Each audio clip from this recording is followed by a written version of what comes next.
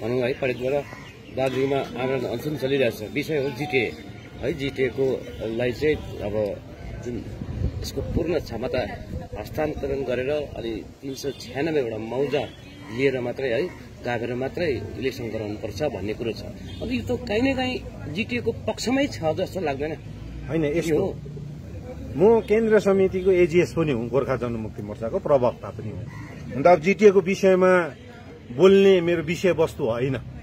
किनभने विषयवस्तु चाहिँ जिटिएको चुनाव हुनुपर्छ हुनु हुँदैन एग्रिमेन्टमा के भयो एक्टमा के भयो भन्ने विषय चाहिँ हस्ताक्षरकारीहरूको जो सिग्नेटोरीहरू छ नि स्टेट गभर्मेन्ट एउटा पार्टी हो एउटा सेन्ट्रल गभर्मेन्ट हो अनि गोर्खा जनमुक्ति मोर्चाको महासचिव रोशन गिरिज्यू चाहिँ यो माथि चाहिँ टिका टिप्पणी गर्नुमा चाहिँ उहाँभन्दा चाहिँ सुइटेबल पर्सन चाहिँ अरू हुँदैन। र पनि अब यो जुन चाहिँ थ्री नाइन्टी सिक्स मौजा जुन दुई हजार एघारको एग्रिमेन्ट जिटिएम भएको थियो त्यो पूर्ण बहाली गरेर हामी जिटिएको चुनावमा जान्छौँ भनेर चाहिँ गोर्खा जनमुक्ति मोर्चाको टेक चाहिँ होइन।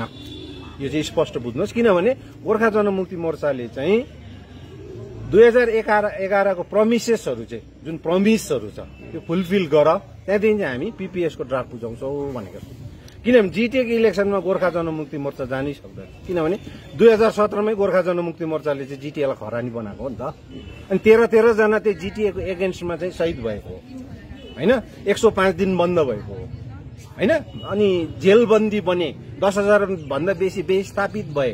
गृहबन्दी त अब दुई हजार सत्रदेखि लिएर दुई हजार बिससम्म हाम्रा नारी मोर्चाका हाम्रा युवा मोर्चाका जसले गोर्खाल्यान्ड भन्थे उनीहरू त गृहबन्दीको भन्दा बत्तर अ, उत्पीडनहरू सहेर बसेका छन्। किनभने त्यो जिटिएको एगेन्स्टको लागि अनि गोर्खाल्यान्डको पक्षको लागि चाहिँ दुई हजार सत्रमा आन्दोलन भएको हो। र अहिले आएर दुई हजार बाइसमा आएर चाहिँ त्यो बाचाहरू पूरा गर हामी जिटिएको इलेक्सनमा जान्छौँ भनेर चाहिँ गोर्खा जनमुक्ति मोर्चाले कुनै पनि सेन्ट्रल कमिटीको मिटिङमा प्रस्ताव पारित गरेको छैन।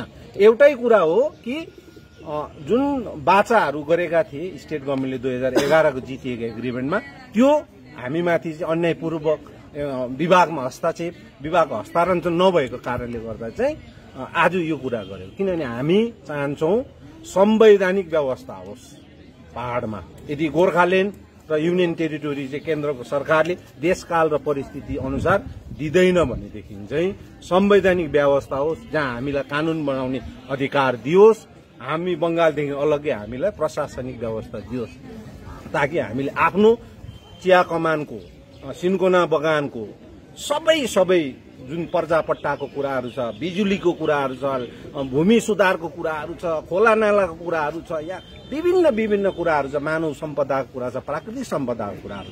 यसलाई संरक्षण गर्ने यसलाई के अरे एउटा प्रष्टुपित गरेर एउटा विकसित बनाएर लानु बनाउन सक्ने कानून बनाउने भएको क्षमता भएको संवैधानिक व्यवस्था जो जुन व्यवस्थाभित्र तराई र डुवर्सको भूभाग पनि अन्तर्भुक्त हुनुपर्छ।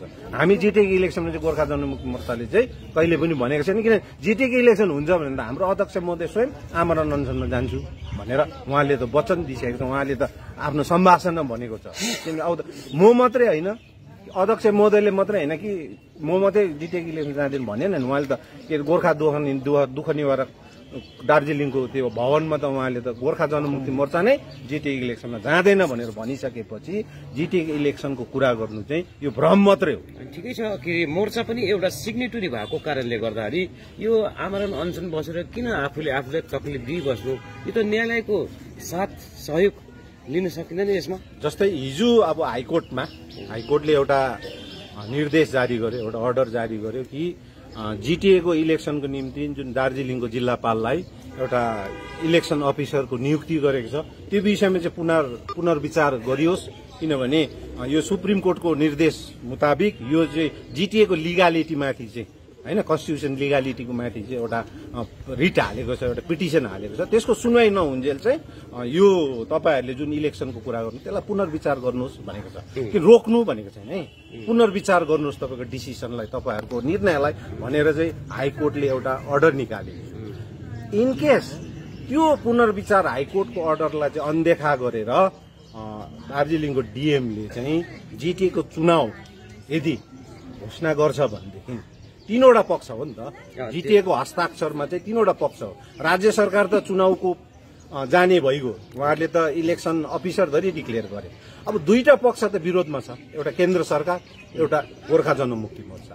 अनि हामी चाहन्छौँ यदि राज्य सरकारले जबरजस्ती जिटिएको इलेक्सन थोप्छ भनेदेखि चाहिँ दुईवटा पार्टी दुईवटा हस्ताक्षरकारीहरूले चाहिँ गोर्खाल्यान्ड टेरिटोरियल एडमिनिस्ट्रेसनबाट हस्ताक्षर फिर्ता लिनु पर्छ यो चाहिँ हाम्रो गोर्खा जनमुक्ति मोर्चाको माग मात्रै होइन। यो चाहिँ समग्र गोर्खाल्यान्ड चाहने महानुभाव गोर्खाल्यान्ड चाहने गोर्खाहरूको गोर्खाल्यान्डको प्रस्तावित क्षेत्रमा बसोबासे मान्छेको चाहना हो।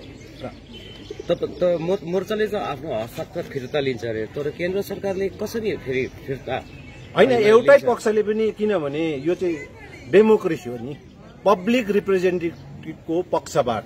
होइन आन्दोलनकारीहरूको पक्षबाट गोर्खाल्यान्डको पक्ष गर्ने आन्दोलन गर्नेको पक्षबाट चाहिँ जनताको पक्षबाट चाहिँ गोर्खा जनमुक्ति मोर्चाको महासचिवले सिग्नेचर गरेको हो नि। र डेमोक्रेसीमा चाहिँ सर्वोपरि चाहिँ जनता हो नि त। होइन? अब केन्द्र सरकारले पनि जिटिए बाधा हो। अमित शाहले सिलगढीमा आएर भन्छ जो गृहमन्त्री हो होइन उहाँ त एउटा भारतको दोस्रो महाशक्ति भनिन्छ। होइन जसलाई फर्स्ट पर्सन चाहिँ प्र- प्रधानमन्त्री हो सेकेन्ड त गृहमन्त्री हो गृहमन्त्री जस्तो पदमा बसेका व्यक्तिले आएर जिटिए चाहिँ बाधा हो यहाँको पिपिएसको लागि भन्छ भनेदेखि जिटिएको एगेन्स्टमा आज केन्द्र सरकार भाजपा सरकार छ भनेदेखि अवश्य उहाँहरूले पनि उहाँहरूको सिग्नेचरबाट फिर्ता लिन्छ। हामी त्यति विश्वस्त छौँ र हामी पनि चाहन्छौँ हाम्रो पार्टीको पक्षबाट पनि यो पहल चाहिँ हुनु जरुरी छ।